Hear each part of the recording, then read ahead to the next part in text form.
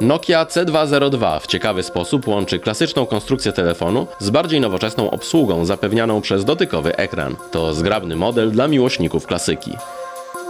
Cechą wyróżniającą ten aparat jest wysuwana klawiatura, która umożliwia wygodne wpisywanie numerów oraz pisanie SMS-ów tradycyjną metodą.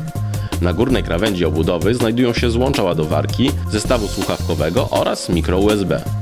Na prawym boku są klawisze sterujące głośnością oraz praktyczny przełącznik blokady klawiatury i wyświetlacza. Dzięki niemu możemy wygodnie blokować i odblokowywać telefon niezależnie od wysuwania klawiatury. Choć C202 wygląda jak tradycyjny telefon z przyciskami, to zgodnie z obowiązującymi trendami wyposażony jest w dotykowy ekran.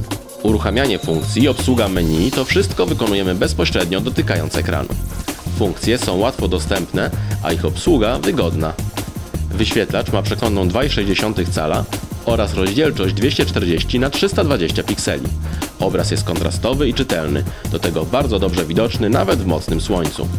W tylnej części Nokii umieszczono aparat o rozdzielczości matrycy 2 megapiksele.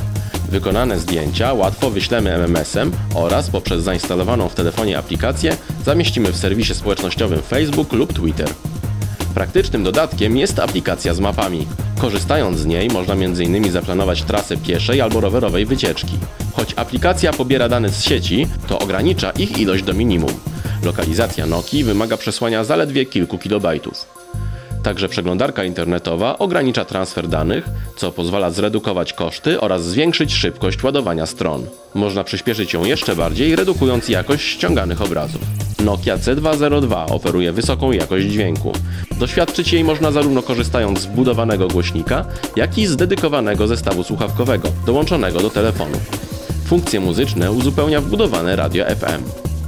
Nokia C202 to idealna propozycja dla osób, które od telefonu oczekują przede wszystkim funkcjonalności urządzenia do wykonywania połączeń, a dopiero w drugiej kolejności zwracają uwagę na bardziej multimedialne zastosowania. Prosta obsługa i długi czas działania na baterii gwarantują satysfakcję z codziennego użytkowania tego modelu.